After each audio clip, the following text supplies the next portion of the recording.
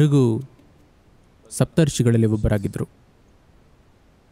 ಅವರು ಭವಿಷ್ಯದೆಡೆಗೆ ಕಣ್ಣು ಹಾಯಿಸಿ ಹೇಳಿದರು, ಮನುಷ್ಯರು ಈ ರೀತಿ ಈ ರೀತಿ ಇರ್ತಾರೆ ಅಂತ. ಜಗತ್ತಿನ ಕೊನೆಯವರೆಗೂ ಮುನ್ನುಡಿದರು. ಅವರು ನಿಮ್ಮ ಬಗ್ಗೆ ಹೇಳಿದಾರಾ? ಇಲ್ಲ. ಅವರು ಮಾನವತೆ ಹೇಗೆ ವಿಕಾಸ ಹೊಂದುತ್ತೆ, ಏನೇನೆಲ್ಲ ಮಾಡುತ್ತೆ ಅಂತಿದ್ದಾರೆ. ಮತ್ತು ಅದರಲ್ಲಿ ಅನೇಕಾನೇಕ ಸಂಭಾವ್ಯತೆಗಳಿವೆ. ಅವರು ಈ ಥರದವರಾಗಿದ್ದರೆ ಅವರೆಡೆಗೆ ಏನು ಬರುತ್ತೆ? ಈ ಥರದವರಾಗಿದ್ದರೆ ಏನಾಗುತ್ತೆ? ಹೀಗೆ ಒಂದು ನಕ್ಷೆ ಮಾಡಿದರು. ಅದನ್ನು ಒಂದು ನೀಲಿ ನಕ್ಷೆ ಥರ ನೋಡಿ. ನೀವು ಗಾಳಿಯ ಚಲನೆಯ ನಕ್ಷೆ ಬಿಡಿಸಿದರೆ, ಇಲ್ಲಿ ಕಡಿಮೆ ಒತ್ತಡ ಇದ್ದರೆ ಗಾಳಿ ಅಲ್ಲಿಗೆ ಬರುತ್ತೆ ಅಂತ ನಮಗೆ ಗೊತ್ತು. ಒತ್ತಡ ಜಾಸ್ತಿ ಇದ್ದರೆ ಗಾಳಿ ಅಲ್ಲಿಂದ ದೂರ ಹೋಗುತ್ತೆ. ಹೀಗೆ ಅವರು ಮಾನವತೆಯ ಒಂದು ನಕ್ಷೆ ಬಿಡಿಸಿದರು. ಮಾನವ ಪ್ರಜ್ಞೆ ಈ ಥರ ಇದ್ದರೆ ಹೀಗೆ ಚಲಿಸ್ತಾರೆ. ಈ ಥರ ಗರ್ಭ ಹೊಂದುತ್ತಾರೆ. ಇದನ್ನು ಆಕರ್ಷಿಸ್ತಾರೆ. ಇದು, ಅದು ಆಗುತ್ತೆ. ಹೀಗೆ ವಿವರವಾಗಿ ಬರೆದರು. ಇದನ್ನು ಭೃಗು ಸಂಹಿತೆ ಅಂತರು ಇದು ಸೌರವ್ಯೂಹದ ಕೊನೆಯವರೆಗೆ ಮಾನವ ಪ್ರಜ್ಞೆಯ ಒಂದು ನಕ್ಷೆ. ಮಾನವರು ಹೇಗೆ ವಿಕಾಸ ಹೊಂದುತ್ತಾರೆ? ಯಾವ ರೀತಿ ಮನುಷ್ಯರು ಬರ್ತಾರೆ? ಏನೆಲ್ಲ ನಿರ್ಧಾರಕ ಅಂಶಗಳಿರುತ್ತೆ? ಇದನ್ನು ಓದೋದು ಹೇಗೆ? ಅವರು ಜನರಿಗೆ ತರಬೇತಿ ಕೊಟ್ಟರು ಒಂದು ವಿವರವಾದ ನಕ್ಷೆ ಮಾಡಿದರೆ, ಉದಾಹರಣೆಗೆ ನೀವು ಟೋಪೋಗ್ರಾಫಿಕಲ್ ಮ್ಯಾಪ್ ನೋಡಿದ್ದೀರಾ?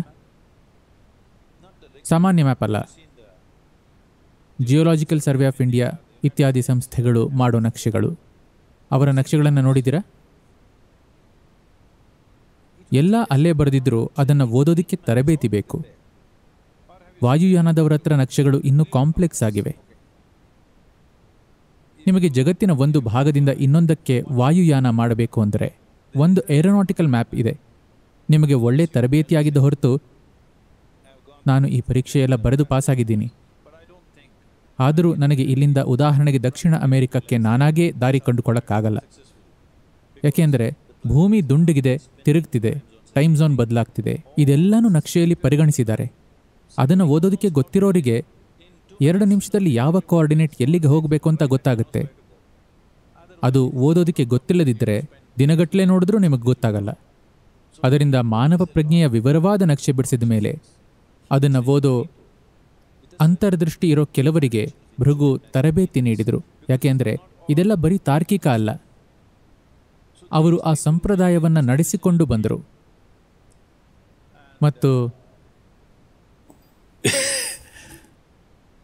ನೀವು ಎಷ್ಟು ಸಂಶಯ ಪಡೋರಾಗಿದ್ದರೂ ಅವರು ವಿಷಯಗಳನ್ನು ಹೇಗೆ ಹೇಳ್ತಾರೆ ಅಂದರೆ ನಿಮಗೆ ಮೂರ್ಖರ ಥರ ಅನಿಸುತ್ತೆ. ದುರದೃಷ್ಟವಶಾತ್ ಅದು ಸತ್ಯ ಆಗಿರುತ್ತೆ. ನಾಡಿ ವೈದ್ಯರ ಮುಂದೆ ಹೋಗಿ ಕೂತರೆ ಅವರು ನಿಮಗೆ ಕೊಡೋ ಮೊದಲ ಶಾಕ್ ಅಂದರೆ ನಿಮ್ಮ ಅಪ್ಪ, ಅಮ್ಮನ ಹೆಸರು ಹೇಳ್ತಾರೆ. ಮುಗಿಯಿತು ನೀವು ಬೆಸ್ತು ಬೀಳ್ತೀರಿ. ನೀವು ಎಲ್ಲಿಂದಲೋ ಹೋಗಿರ್ತೀರಿ. ಅದು ಮ್ಯಾಟರ್ ಆಗಲ್ಲ. ನೀವು ಬೇರೆ ದೇಶದವರಾಗಿದ್ದರೆ ಮೊದಲ ಅಕ್ಷರ ಹೇಳ್ತಾರೆ. ನಿಮ್ಮ ಸುಸಾನ, ತಾನಿಯಾ ಎಲ್ಲ ಅವರಿಗೆ ಗೊತ್ತಿಲ್ಲದಿರಬಹುದು. ಆದರೆ ನಿಮ್ಮ ಹೆಸರು ಟೀಯಿಂದ ಶುರುವಾಗುತ್ತೆ ಅಂತಾರೆ. ಹಾಗೆ ಹೇಳಿಬಿಡ್ತಾರೆ. ಯಾಕೆಂದರೆ ಅವರು ನೋಡ್ತಿರೋದು ನಿಮ್ಮ ಹಿನ್ನೆಲೆ, ಭವಿಷ್ಯ ಇತ್ಯಾದಿ ಅಲ್ಲ. ಅವರು ಒಂದು ನಕ್ಷೆ ಓದ್ತಿದ್ದಾರೆ ಅಷ್ಟೇ. ನಕ್ಷೆ ಓದಿ ಉಷ್ಣಾಂಶ ಇಷ್ಟಿದೆ, ಒತ್ತಡ ಇಷ್ಟಿದೆ ಅಂತೆಲ್ಲ ಹೇಳ್ತಿದ್ದಾರೆ. ಆದರೆ ಅದೊಂದು ಅಂತರ್ದೃಷ್ಟಿಯ ನಕ್ಷೆ. ಅವರು ತಮ್ಮೊಳಗೆ ಒಂದು ಸ್ಥಿತಿಯಲ್ಲಿದ್ದ ಹೊರತು ಅದನ್ನು ಮಾಡೋಕ್ಕಾಗಲ್ಲ. ಅದು ಆ ದೇವಸ್ಥಾನದ ಸುತ್ತಲೇ ಆಗಬೇಕು. ವೈದ್ಯೇಶ್ವರ ದೇವಸ್ಥಾನ ನಿರ್ಮಿಸಿರೋದು ಅದಕ್ಕೆ. ಸಾಮಾನ್ಯವಾಗಿ ಅಲ್ಲೇ ಮಾಡ್ತಾರೆ. ಈಗ ಹಣಕ್ಕಾಗಿ ಎಲ್ಲ ಕಡೆ ಹೋಗ್ತಾರೆ. ಅಷ್ಟು ಪರಿಣಾಮಕಾರಿಯಾಗಿಲ್ಲದೆ ಇರ್ಬೋದು, ಆದರೆ ಕೆಲವರು ನಿಖರವಾಗಿ ಹೇಳ್ತಾರೆ. ಆದರೆ ನೀವು ಆಧ್ಯಾತ್ಮಿಕ ಹಾದಿಯಲ್ಲಿದ್ದರೆ ನಿಮ್ಮ ಭವಿಷ್ಯ ನುಡಿಯೋದಕ್ಕೆ ಅವರು ಒಪ್ಪಲ್ಲ. ಅವನು ನೈಜವಾಗಿದ್ದರೆ ಯಾವಾಗಲೂ. So if you go on if you tells you future that means you still not on.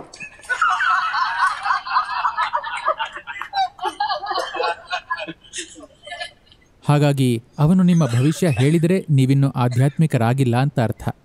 ಹಾಗಾಗಿ ವಿಧಿ ಅನ್ನೋದು ಫಿಕ್ಸ್ ಆಗಿದೆಯಾ?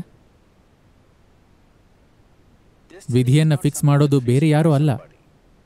ಅದು ನಿಮ್ಮದೇ ಕರ್ಮ. ನಿಮ್ಮ ಸಾಫ್ಟ್ವೇರ್ ಒಂದು ಥರ ಇದ್ದರೆ ಅದು ಆ ಥರನೇ ಕೆಲಸ ಮಾಡುತ್ತೆ.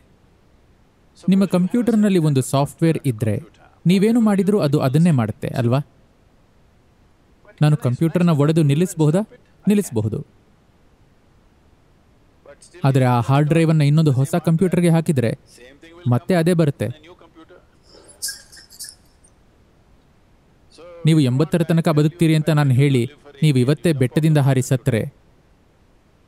ನಿಮಗೊಂದು ಹೊಸ ಕಂಪ್ಯೂಟರ್ ತಗೋತೀವಿ. ಸ್ವಲ್ಪ ಸಮಯ ಆದಮೇಲೆ. ಆದರೆ ಅದೇ ಸಾಫ್ಟ್ವೇರ್. ಅದೇ ಸಾಫ್ಟ್ವೇರ್. ಹಳೆಯದೇ ಓಡುತ್ತೆ. ಏನೂ ಹೊಸ್ತಿರಲ್ಲ. ಅವರು ಜೀವನದ ಆ ಅಂಶವನ್ನು ನೋಡಿ ಭೌತಿಕ ದೃಷ್ಟಿಯಲ್ಲಿ ಅದರ ಅರ್ಥ ನೋಡ್ತಿದ್ದಾರೆ. ಅದು ಇಂಟರ್ಪ್ರಿಟೇಷನ್ ಅಷ್ಟೇ. ಅದು ತಪ್ಪಾಗೋ ಸಾಧ್ಯತೆ ಸದಾ ಇರುತ್ತೆ. ಅವರು ತಗೊಳ್ಳೋ ಅರ್ಥ ಯಾವಾಗಲೂ ಸರಿ ಇರಬೇಕಿಲ್ಲ. ಆದರೆ ಮೂಲ ನಕ್ಷೆ, ಒತ್ತಡ ಎಷ್ಟು, ಅದೆಷ್ಟು, ಇದೆಷ್ಟು ಅನ್ನೋದು ಸರಿ ಇರುತ್ತೆ. ಅದರ ಅರ್ಥ ನೋಡೋದು ಆ ವ್ಯಕ್ತಿಯ ಸಾಮರ್ಥ್ಯದ ಮೇಲಿದೆ. ಎಲ್ಲರಿಗೂ ಒಂದೇ ಮಟ್ಟಕ್ಕೆ ಅರ್ಥ ನೋಡೋಕ್ಕಾಗಲ್ಲ. ಹೀಗೆ ಭೃಗು ಸಂಹಿತೆಯ ಈ ವಿಜ್ಞಾನ ಬೆಳೀತು. ಆದರೆ ನೀವು ಆಧ್ಯಾತ್ಮಿಕ ಪಥದಲ್ಲಿದ್ದರೆ ಅವರು ನಿಮ್ಮ ಭವಿಷ್ಯ ನುಡಿಯಲ್ಲ. ನಿಮ್ಮ ಭವಿಷ್ಯ ನುಡಿಯಲ್ಲ, ನೀವು ಅದರ ವ್ಯಾಪ್ತಿಯಲ್ಲಿಲ್ಲ.